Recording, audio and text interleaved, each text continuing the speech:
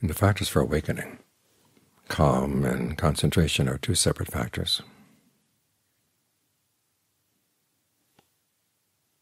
Calm is said to be a precondition for concentration.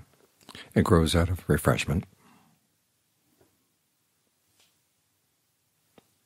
It's basically the mind at its ease. You've been refreshed by the breath, refreshed by comfortable feelings, and now you let them calm down with a sense of well-being. And this is a necessary factor for concentration, whether it's concentration while you're sitting here with your eyes closed, or concentration as you're going around in the world. If you're feeling anxious, ill at ease, worked up about things, it's hard to get the mind to settle down. Because when the mind settles down, concentration is a good translation for samadhi, because the mind is firmly intent.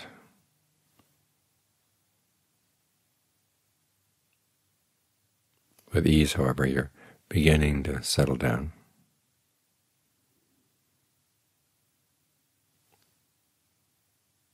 And so you have to induce it. The Buddha teaches how to induce it through fabrication in his instructions on breath meditation. You work with bodily fabrication, in other words, the way you breathe. You try to breathe in a way that's refreshing, gives you energy, and then you allow it to calm down.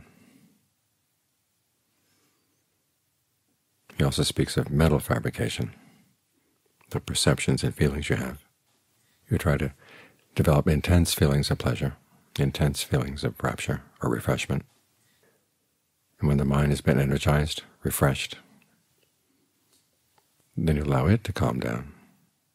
In other words, you find feelings that are more refined, just as you found a breath that was more refined,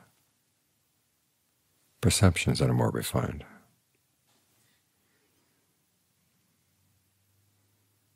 Take the perception of the breath in the body. If you perceive it as the air coming in and out through the nose, that allows you to settle down to one level. But if you think of it as the energy that suffuses every cell in the body, it's all connected through the nerves and the blood vessels, that's a more calming perception. It requires less energy to breathe, and you're less concerned about deciding when to breathe in, when to breathe out. You're getting closer and closer to what Ajaan Lee calls the profound breath, where everything is very, very still.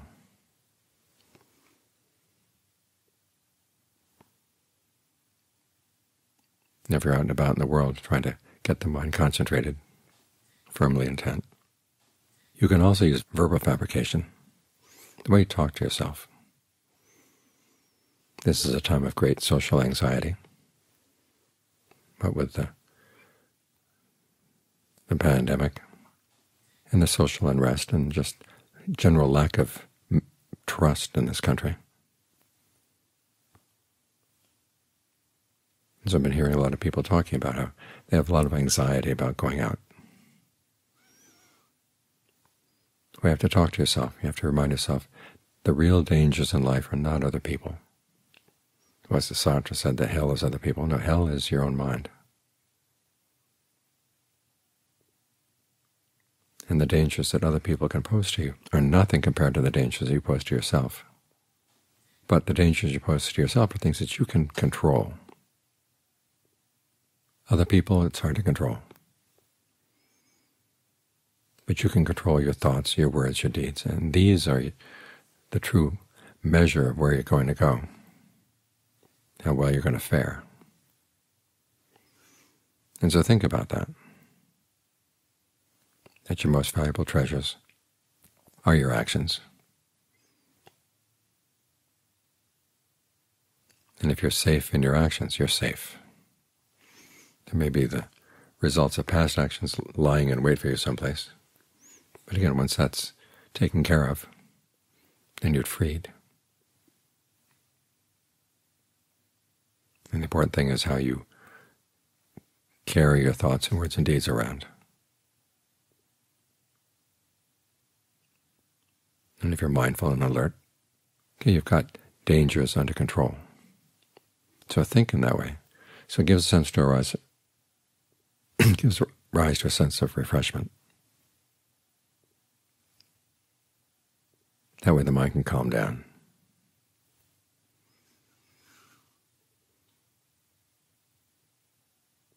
It's the same when you're sitting here and meditating. Sometimes you need to engage in some verbal fabrication. This is what the different re recollections are for. The Buddha says there are times when you try to focus on the breath and it seems like there's a fever in the breath. You focus on feelings, there's a fever in the feelings. You focus on the mind, there's a fever in the mind. Okay, you drop those topics, and you think about the Buddha, or the Dhamma, or the Sangha, whatever you find inspiring.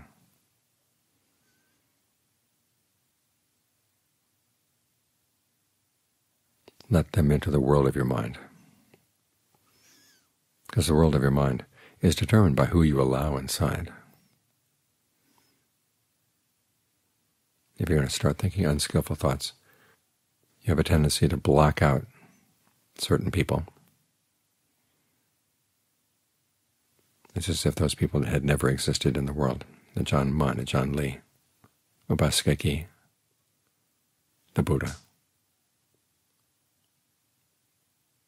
And that way you're free to think your unskillful thoughts. But when you realize that this is not healthy, you want to let them back in. So think about the Buddha, that time when Venerable Sona was going to disrobe. He'd been doing walking meditation to the point where his feet were bleeding, and he got discouraged. He thought, well, maybe I can go back and be a layperson. I can still make merit. And the Buddha read his mind. So he disappeared from Vulture Peak and appeared right in front of Sona. You can imagine how Sona felt. On the one hand, embarrassed, but on the other hand, a strong sense of gratitude to the Buddha for caring enough.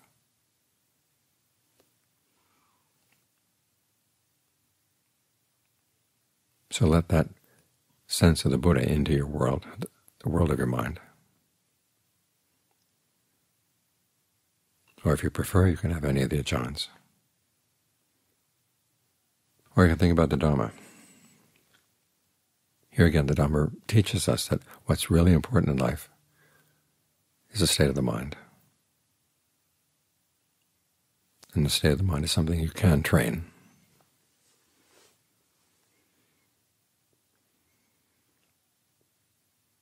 And if you've been heedless in the past, well, that doesn't mean you're going to have to be heedless in the future.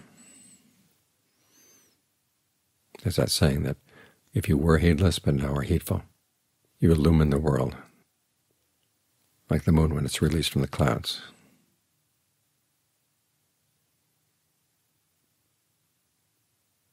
It is possible to change your ways. As the Buddha said, if it were not possible for people to drop unskillful habits and to develop skillful ones, there'd be no point in his teaching. So he taught, which means, okay, there is a point, which means that you can change. So even though the Dharma sometimes seems forbidding, as it points out that this is unskillful, that's unskillful, its purpose is compassionate. And so take comfort in the Dharma, take comfort in the Buddha and the Sangha. And then when the mind has soothed its fevers, then you get back to the breath. Refreshed, calmed down, and ready to go into concentration.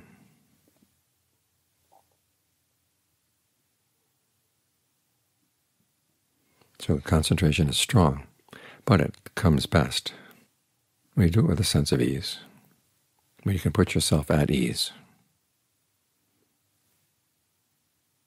And that's the purpose of this factor for awakening.